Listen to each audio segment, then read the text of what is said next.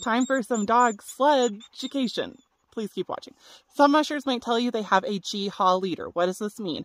Our dogs are controlled by voice commands, Gee for right, Haw for left. So if they have a Gee Haw leader, it just means that their dogs will take any command that they give them. This is very important for pretty much any situation. Let me show you what I mean.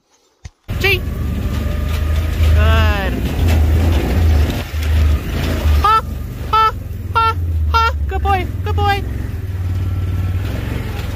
There we go.